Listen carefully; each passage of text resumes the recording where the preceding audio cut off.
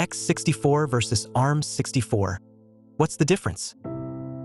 x64 and ARM64 are both 64-bit architectures, but they power very different kinds of devices. x64, also called x86-64, is the 64-bit version of the classic Intel x86 architecture, commonly used in PCs, laptops, and servers. ARM64 is the 64-bit version of the ARM architecture, designed for efficiency and low power.